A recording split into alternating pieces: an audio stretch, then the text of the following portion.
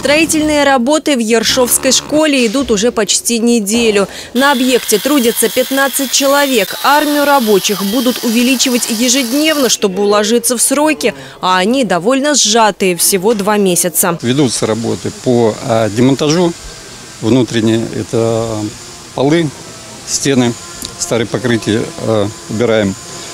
Также начали благоустройство, тоже демонтаж и кровельные работы только демонтаж. Родительская общественность забила тревогу несколько лет назад. Здание средней школы требует ремонта. Выездная инспекция главы показала, преображение должно быть капитальным. Разработали проект, прошли экспертизу. На работы выделили более 100 миллионов рублей. Капитальный ремонт в Ершовской школе в этом году будет произведен до 15 сентября. Э, согласно муниципальному контракту. Здесь постоянно будет находиться наш технический заказчик, муниципальное предприятие, хозяйственно-эксплуатационная служба. Э, мы будем контролировать и качество, и сроки выполнения. Соглашение с четким обозначением сроков проведения работ. Глава Одинцовского округа Андрей Иванов и представитель подрядчика подписали на объекте 15 июля.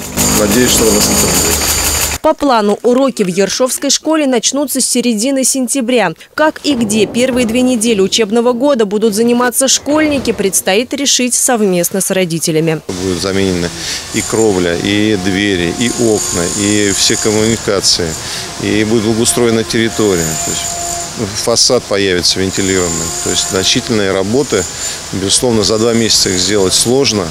Поэтому мы сместились на 15 сентября. Но ради того, чтобы получить такой объект в итоге, я думаю, что и родители пойдут нам навстречу. На этом перемены в Ершовской школе не закончатся. В этом году начнутся работы по проектированию пристройки к зданию, которое позволит разгрузить переполненное образовательное учреждение. Евгения Августина, Денис Харламов, телекомпания «Одинцова».